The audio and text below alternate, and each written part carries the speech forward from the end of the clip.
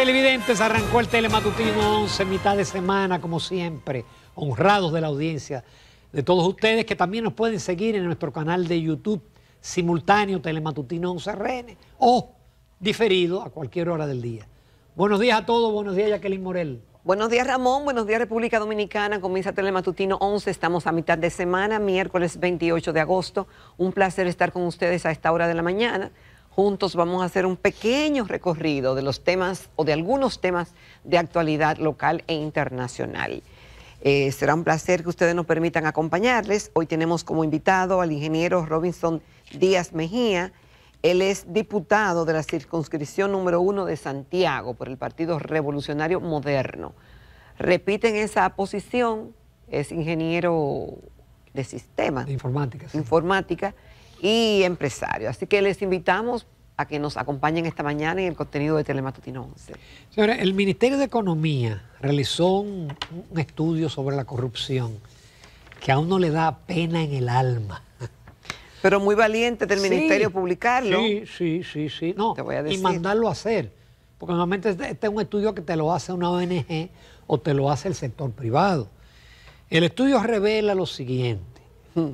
Señores, en el 2023 el 48.3% decía que le preocupaba la corrupción, que podía tolerar cierto grado de corrupción.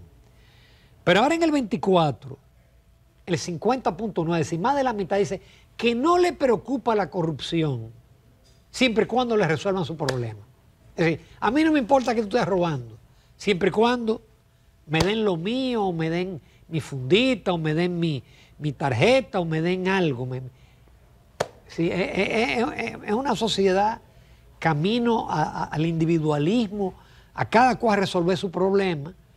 Claro, décadas de impunidad han hecho que se vea algo normal la corrupción pública y la privada. Eh, bueno, Ramón y amables televidentes, esta encuesta fue encargada por el Ministerio de Economía, como tú bien señalas, y es la encuesta de cultura democrática.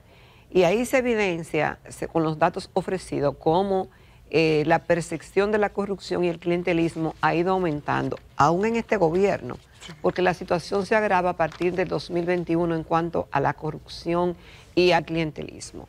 Y esto llama la atención, Ramón, porque justamente en este año 2024 celebramos elecciones.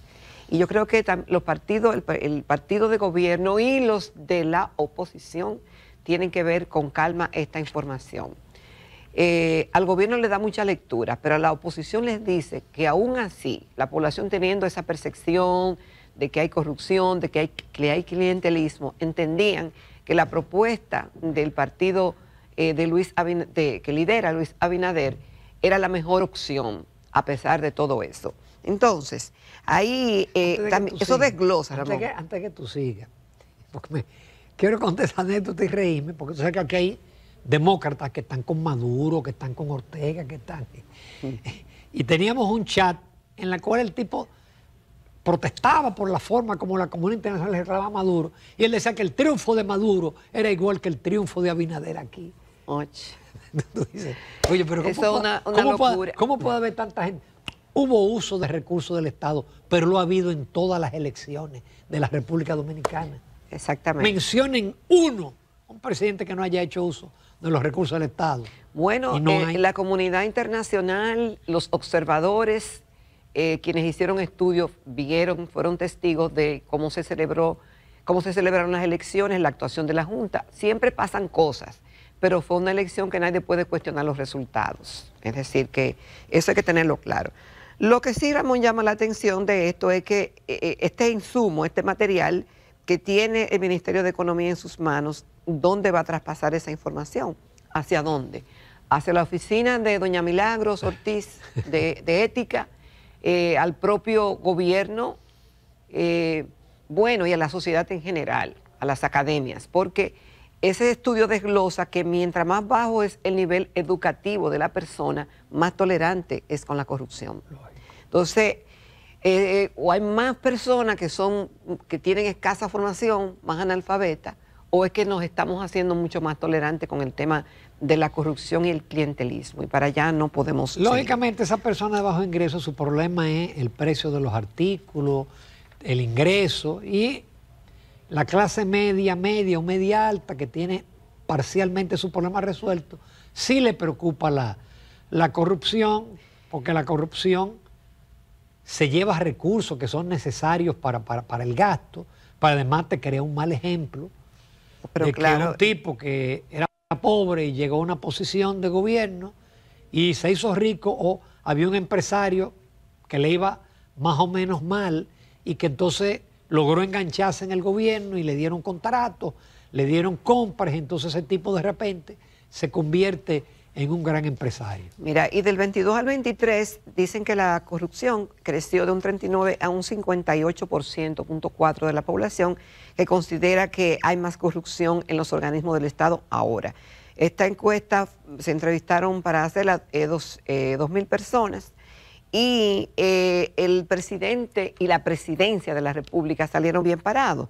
La gente confía en el presidente, Luis Abinader, por eso votaron por él, añado yo. Y para un total de 10 instituciones políticas, los resultados constatan la baja confianza en las instancias democráticas nacionales, a excepción del presidente de la República, quien cuenta con más de un tercio de la ciudadanía confiando mucho o algo en su trabajo. De cualquier manera, eh, esa es una percepción que el gobierno deberá trabajar. Oh, pero por supuesto. Porque, es decir, del 22 al 23, de 39.5 a 58.4, la población considera que la corrupción es mayor en los organismos del Estado. Oye, y no es cierto, no es cierto que la corrupción ahora sea mayor, no que el gobierno anterior, porque el gobierno anterior era este, sino al último periodo del gobierno de Danilo Medina, donde hay cuatro o cinco casos que si se llegan a esas últimas consecuencias implican miles de millones de pesos. Entonces, ahí hay un problema de que hay corrupción, pero hay un problema de percepción y eso lo tiene que trabajar el gobierno.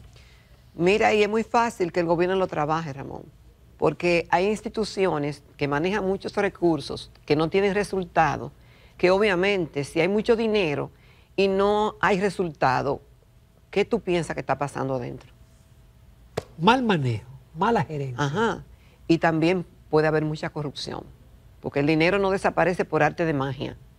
Y yo te voy a decir, también cuando la población ve que no se resuelven los problemas y están los recursos que creen que hay corrupción. Tú estás pensando en el Ministerio de Educación. Entre otros. Por ejemplo.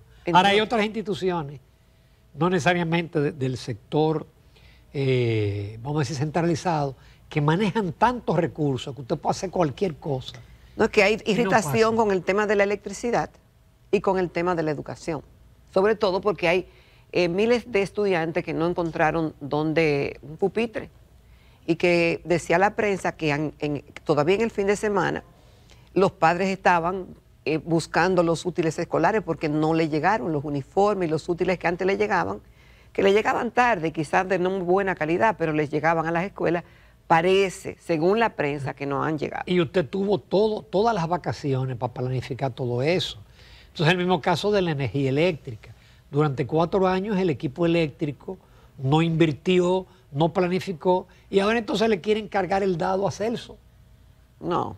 No, ahora a Celso le quieren cargar los apagones, le quieren cargar todo. Cuando Celso entró ayer a dirigir las, las EDES. Eh, Punta Catalina unificado y, Punta Catalina. Y Punta Catalina, pero Punta Catalina está produciendo y está generando dinero. Claro. Uno podrá decir todo lo que usted quiera de Punta Catalina, de que se sobrevaloró. No, ahora dije, antes dijeron de todo, incluso la gente del PRM. ahora el sistema está salvo por Punta, Catalina. Punta Catalina, señores, ahí se hubiera de verdad pagones. Mira, qué bueno que, hay, que haya debates sobre el tema de la reforma constitucional, porque ya tenemos la experiencia de, de reformas y de cambios que después nos damos cuenta que fue un error. Por ejemplo, cuando separamos las elecciones cada dos años, lo que se decía era que el país estaba en campaña los cuatro años. Sí. Entonces, se mantiene separada, pero para mí un solemne disparate se lleva a febrero la municipal. Ahí fue que nos dimos cuenta que de verdad era, e, e, era un disparate económico. Y entonces ahora se quiere, eh, se van a unir. Y eso hay que, hay que, eso hay que pensarlo, inclusive en términos operativos. Decía el doctor Milton Rey Guevara que eso, él favorece lo de la reducción de los diputados, pero él dice que eso le va a crear una grave complicación a la Junta Central Electoral. Primero piensa en la cantidad de boletas y en el hecho de usted tener que dar informaciones a todos los niveles y la gente esperándola la misma noche. Él dice que eso es matar a la Junta Central Electoral. Yo no sé si, si es por el tema del gran cúmulo de trabajo que representará eh, para la Junta en las elecciones en todos los niveles para un solo día. Pero otro aspecto que destaca el doctor Milton Ray es que esto limita el crecimiento del liderazgo municipal, lo cual es, importante. Eh, pero dijo favorecer dentro de esa reforma eh, la, la famosa cláusula pétrea para que sean dos periodos de gobierno de un candidato y nunca más, y que eso no se pueda cambiar, que eso él lo favorece. Que yo no entiendo cómo, cómo la oposición, en el caso fue se ha ido por el lado del procurador, y el PLD vimos que la cuestionó, pero imagínense, con qué moral el PLD cuestiona una reforma cuando ellos quisieron hacer un traje de la medida en el año 2009. Pero esa cláusula pétrea, aunque hay abogados que dicen que eso en el futuro si se tiene una mayoría como la de ahora se puede cambiar, pero por lo menos se la ponemos difícil a los próximos presidentes y a lo mejor permanecemos estables durante mucho tiempo, de que son dos años y que venga otro.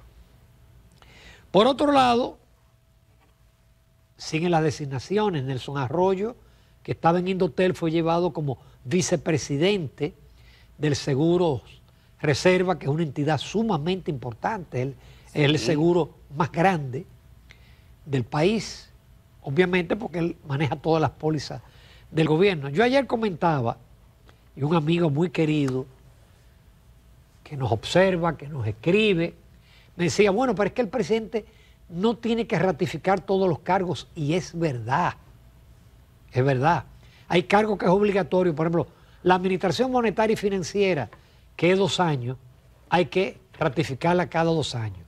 El Servicio Nacional de Salud también, alguna superintendencia, pero cuando el hábito era que se ratificara o se sustituyera y no se hace, entonces lo que crea es una incertidumbre. Aquí hay muchas instituciones que los incumbentes están haciendo nada más el día a día y no toman ninguna decisión de importancia que implique erogación de recursos porque no saben si lo van a quitar. Y, le escribí al amigo, mira, fíjate, como todavía una designación aparece cuando ya creíamos que, que ya se había terminado. Bueno, y parece que van a seguir, porque el presidente dijo que venían más decretos. Mira, el caso de Nelson Arroyo, que fue diputado, creo que ¿Cuántas veces ha sido fue diputado? Varias veces. Es un líder en mi provincia. En San Pedro de Macorís, sí, del, del 6 al 2016. Es abogado y, dirigió la campaña, fue vicepresidente del Partido Revolucionario Moderno y director ejecutivo eh, nacional de campaña del PRM en el 2020. Estaba en Indotel, pero yo quiero apuntar el hecho. El presidente es soberano de saber a quién y él es un líder en su provincia. Ahora, eh, lo que la prensa reseña, que ocurrió en las oficinas del presidente del partido, es José Ignacio Paliza. Dicen ahí que hubo un forcejeo y la prensa lo reseña. Yo no sé si entonces eso mandará un mal mensaje, Ramón, de que hay que forzar las cosas para que te nombren. Eh, porque no he visto, por lo menos de parte de Arroyo, pidiendo disculpas por lo que ocurrió. Y testigos dicen que fue feo lo que ocurrió ahí. O de que si tu tía aporta muchos votos, tú puedes hacer cualquier cosa. Exactamente. Entonces. Eh. Por otro lado, señores, en Venezuela, porque no podemos olvidar a Venezuela. En Venezuela siguen apresando eh, personas ligadas a la oposición. En el día de ayer, a, veces no es, no es, que apresan, es que secuestran al asesor legal de la campaña Parkis Rocha. Y como para enviar un mensaje contundente Diosdado Cabello fue designado ministro de Interior. ¿Tú te imaginas? Con el mandato expreso de pacificar. Diosdado Cabello es, el hombre número dos del régimen. o número uno. Sí. Y, cuando, se habla de pacificar, ya ustedes saben que eso es quitar derechos. El que no esté de acuerdo conmigo, con el gobierno, entonces se, se calla de alguna forma. Y ojalá que no se permita eso. Que no se permita eso. Y lo nombraron ahí y dijo cosas que yo no quisiera repetir. Y lo pone, Maduro dice, para que traiga paz. Que de eso él sabe. Entonces, eh, vamos a ver qué pasa. Él sabe mucho de paz y sabe mucho de justicia. Y tiene capacidad para consolidar la paz frente a tanta conspiración, dijo Maduro. Y amenazó inmediatamente Cabello, inmediatamente dijo que eh, utilizó una palabra muy fuerte de lo que va a pasar con los opositores. Diosdado Cabello tiene un expediente abierto en los Estados Unidos por narcotráfico y mm. lavado de activos. Ese es ese señor. Eh, y, a veces los dictadores eh, prepotentes utilizan un lenguaje en contra de la democracia, señores. Mm. Lula es una figura continental y mundial, respetado. El dictador Ortega, en una locución, lo calificó de arrastrado del, del imperialismo, arrastrado. Y entonces le dijo a Gustavo Petro de Colombia, usted está tratando de competir con Lula para ser más arrastrado del imperialismo. Gustavo Petro, que fue guerrillero y que fue de izquierda, que tiene una trayectoria, le escribió un, Twitter que vale la pena, vale la pena leerlo. Ahí, lo tenemos, hermano. Ahí, lo tenemos en pantalla. puede leer? Sí. Eh.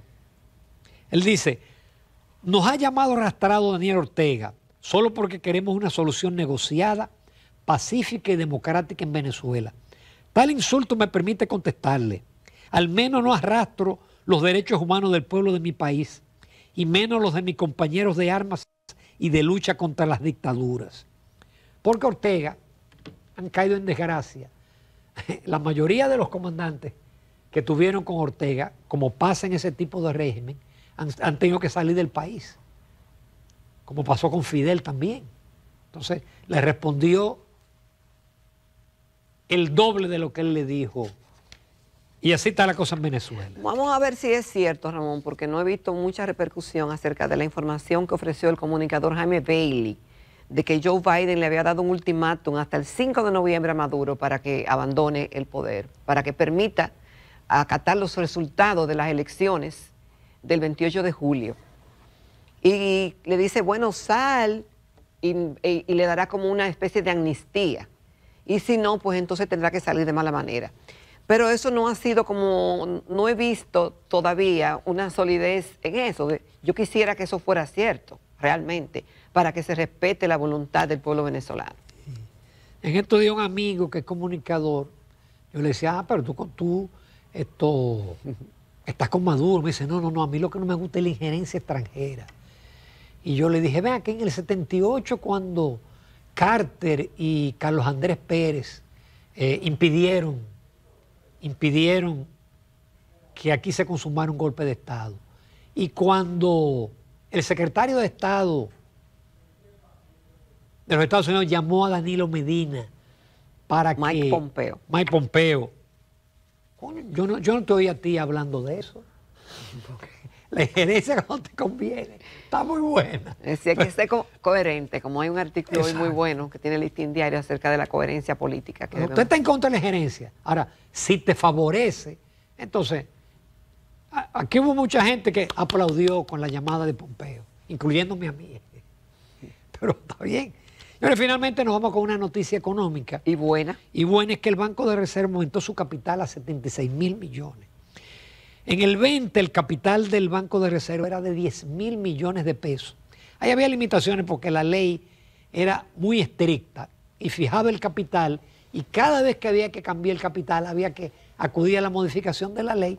La ley se cambió y ahora el banco decide con sus propios beneficios aumentar el capital y lo ha aumentado primero de 10 mil a 39 mil y ahora 76 mil millones. Esto es un palo. Sí, porque con un capital así eso permite mayor cartera de crédito, mayores, eh, es decir, mayores préstamos y mayor posibilidad de influir en la producción. Así es, mi economista personal me explicó todo ese tema y me dijo que el Banco de Reservas tendrá una mayor solvencia y que esto es sumamente importante porque ayudará a mejorar la clasificación de riesgo del banco. Por lo tanto, podrá acceder a más recursos, a mejores tasas. Tendrá una mejor clasificación, eh, tendrá mejor solvencia y eh, es muy bueno eh, para el banco. Lo pasa a otro nivel. Un banco con 76 mil millones de, pesos no está nada mal. No, no eso, es alto. En nuestro país y en, la región, yo pienso que Samuel Pereira ha hecho una buena gestión. Los indicadores del Banco de Reserva son excelentes, con una morosidad bajísima y por eso lo ratificaron. Bueno, pues felicitaciones al licenciado Samuel Pereira y a todo el equipo que le acompaña. Obviamente que esta es una muy buena noticia para el Banco de Reservas y para la República Dominicana de sus instituciones financieras. Nos vamos a la entrevista con el diputado Robinson Díaz Mejía de Santiago, número uno, pero que ha ocupado muchas posiciones de de principalía en la dirigencia del Partido Revolucionario Moderno.